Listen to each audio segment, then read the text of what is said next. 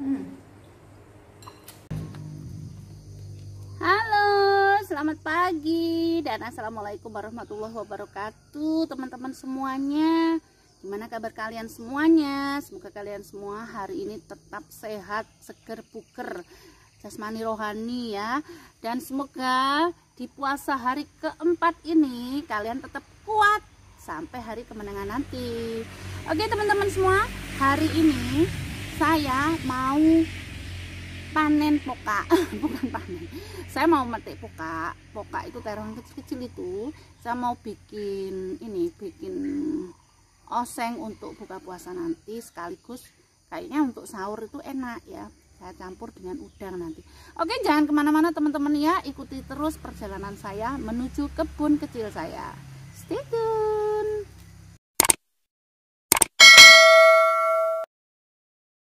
patahkan biar nanti merujuknya itu biar ini biar sampai repot. Merujuknya itu biar biar mudah karena terlalu banyak. Nah ini tak kempet itu sampai nah, ini harus berhati-hati banget karena banyak durinya. Durinya itu tajam banget Nih, saya lagi ngunduh pepaya.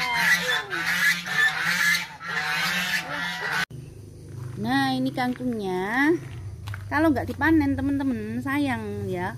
Karena kangkungnya sudah mulai uh, sudah waktunya untuk dipanen ya.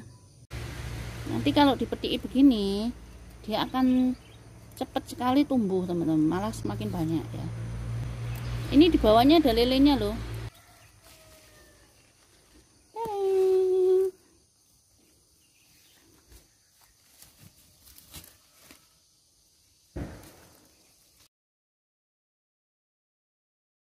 Nah kayaknya sudah mulai habis ya. Sudah saya ambili ini sangat organik sekali ya teman-teman. Saya tidak taruh eh, apa pun karena ini asli tumbuh di atas air. Nah ini. Ini ya yuk kita intip yuk. Nih. Oh akarnya sudah ke mana-mana. Jadi biarin aja. Teng! ini hasilnya nih. Lumayan kan? Untuk untuk menu makan malam untuk menu buka puasa. Oke nah ini. Ini sangat organik sekali loh nih.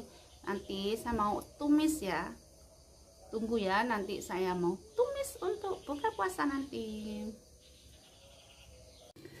Jadi ini ceritanya melanjutkan panen poka itu yang kemarin. Nah sekarang pokanya baru dimasak ya. Nih pokanya mau tak alup-alupi dulu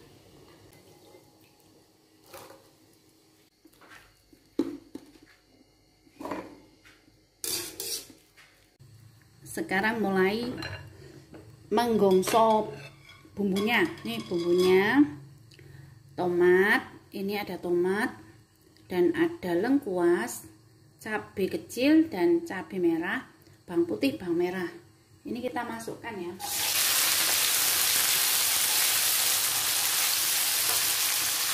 Di sini saya akan campur udang ya udang kecil. Nih ini udangnya sudah saya ini ya sudah saya kuliti ya. Sudah tidak ada kulitnya.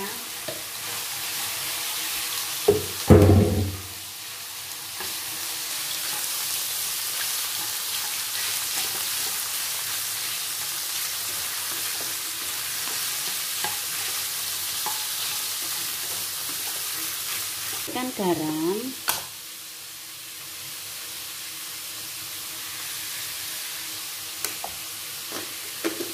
lalu kecap asin. Hmm.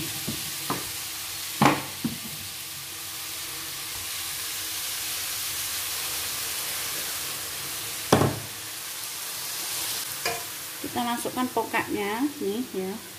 Yang sudah kita alup-alupi ya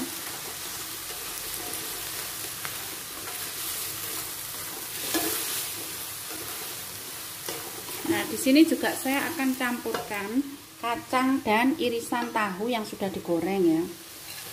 Karena suami saya paling suka itu kalau begini itu ada kacangnya ya. Oh, banyak banget ya. Ini bisa kita simpan, nanti kita panasi di microwave ya. Jadi untuk uh, buka sahur ya ini sebetulnya saya pakai tempe ya tapi tempenya nggak ada saya adanya tahu ya wis seadanya ya. Tambahi kecap asin saya pakai kecap sate. Hmm.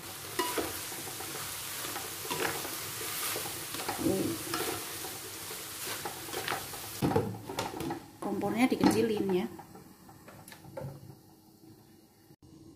Oke sudah matang ya kayaknya. Sekarang mantep banget. Kita taburi daun bawang sebanyak-banyaknya. Biar enak hmm.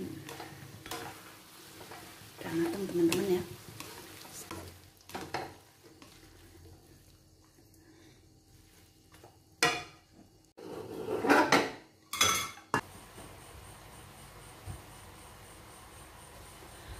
kita kasih kecap asin sedikit aja ya. Kecap asin saya yang ini ya teman-teman ya.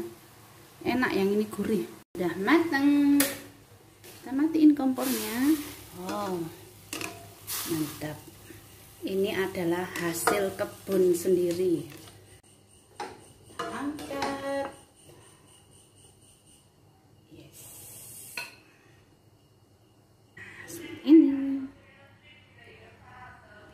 mantep kan? Sekarang selanjutnya saya akan potong pepaya. Ini pepayanya udah mateng ya. Karena ini pengambilannya pepayanya itu dua hari yang lalu bersama pokak ya. Jadi sekarang baru mateng. Hmm. wow nih. Ini pepaya uh, Thailand ya. Kalau California itu yang belenduk itu ya.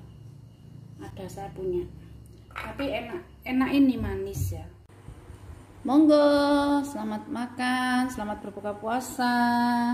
Ini kangkungnya dari metik sendiri dan lomboknya juga metik sendiri. Dan ini pokaknya punya sendiri, lomboknya juga sendiri. Cuma tahunnya beli ya, lain-lainnya beli. Dan ini janya Ini ini juga beli sendiri, eh beli sendiri. Ini juga metik sendiri. Monggo. Selamat berbuka puasa teman-teman. Semoga selalu sehat dan jumpa lagi di video saya selanjutnya. Terima kasih. Wassalamualaikum warahmatullahi wabarakatuh. Nih mantap. Eh, makan pepaya dulu. Hmm. Kita buka puasanya selalu agak telat ya. Karena memang begini hmm nih suamiku nih. Kangkungnya saya sudah selesai makan suamiku belum. Orangnya lama sekali. Ini nanti habis loh nih. Ini pokoknya dia kulitnya disisili seperti ini. Enak loh kong hmm. enak ah? Enak. Enak ah